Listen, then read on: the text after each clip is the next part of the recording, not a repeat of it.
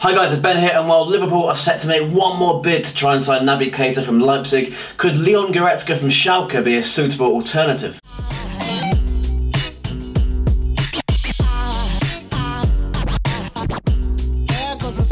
So a day wouldn't be complete without another Keita story, and of course more has come out today, this time from David Maddock from The Mirror. Maddock isn't the most unreliable guy in the world, he is Liverpool-based, he knows the club, he has been reliable on this sort of stuff before. He says Liverpool are going to make one more attempt to sign Keita from Leipzig. It's going to be a bid of at least £70 million. Keita is furious about what Ralf Rangnick said about a whole village in Guinea advising him to move, so he is looking to push through the transfer, he's been wanting to come all summer, and despite what Chris Bascombe and Paul Joyce are saying, Liverpool may well still have one trick up their sleeve. Rangnick has tried to talk himself out of the hole he's dug himself into with those comments. He's saying that he's got a great relationship with Keita, he's known him for a while. He says he's met a lot of players with an African background and they do sometimes have a whole village that live off the help of him and that's who wants him to move. He says his geography is good enough to differentiate between Guinea and Africa, but Keita is still obviously less than impressed with that. And Maddock says a bid could follow in the next week. He also says that Klopp is a fan of Leon Goretzka from Schalke. Now this is a player that a lot of you in the comments have been suggesting as an alternative. Renato Sanches has been the other. Bayern Munich are the favourites to sign him, but the Reds are clearly keen if Keita doesn't sign. This guy has played for Germany through all the youth levels and he's made nine senior appearances for the world champions. Now, I've not seen much of Goretzka, but I have seen some comparisons to Paul Scholes. If he's half the player he is, then what a player he obviously will be. He scores a lot of goals from distance, his passing is very good. He can also play deeper or on the wing, which I know Klopp likes that sort of versatility. We've seen Gini Wijnaldum deployed in various areas, Lallana and Coutinho too. He made 39 appearances for Schalke last season, scoring seven goals, so a solid return. Clearly one of their best players over the last two seasons, hence Bayern's interest. He's the same age as Keita at 22, so playing in the same league, Keita obviously that step up, but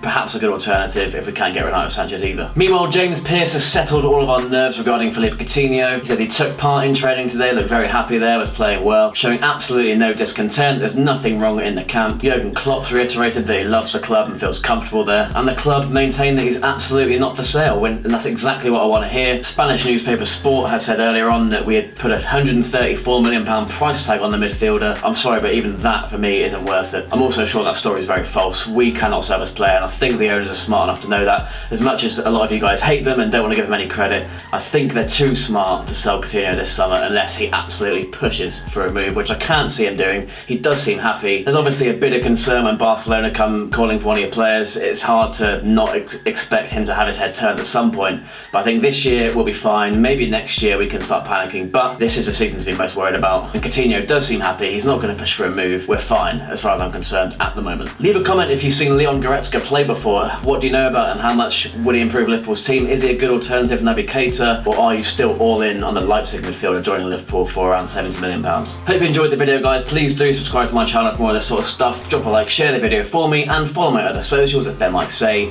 on Twitter, Instagram, Snapchat and Facebook. And I'll see you next time.